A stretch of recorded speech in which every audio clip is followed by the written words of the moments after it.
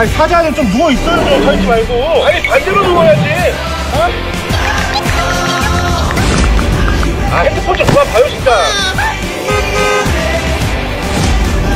관람객과 시선 마주치면 절대로 안 됩니다. 왜요? 왜? 나랑 눈 마주쳤어. 아 잘못 보셨습니다. 어? 또 본다.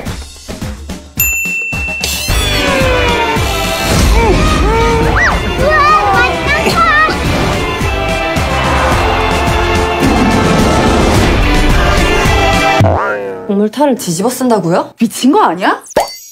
과감한 거라고 하죠. 다 같이 사기죄로 깜빡할 일 있어요? 자신감을 가지세요!